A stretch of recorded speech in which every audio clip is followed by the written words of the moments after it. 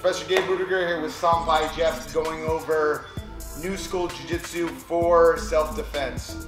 So uh, this particular movement is called the donkey guard, which could be uh, a mating ritual, but it could also be a way to have your opponent try to engage by trying to take the back or take you down.